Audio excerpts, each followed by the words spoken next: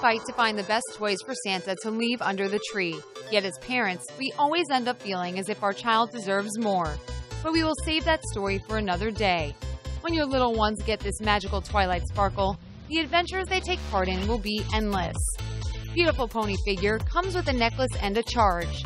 Makes her even more beautiful. This figure has a nice mane and tail that your little one can style.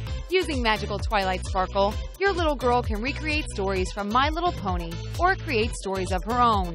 When you touch the stars that she has on her, her pretty little wings will light up and twinkle.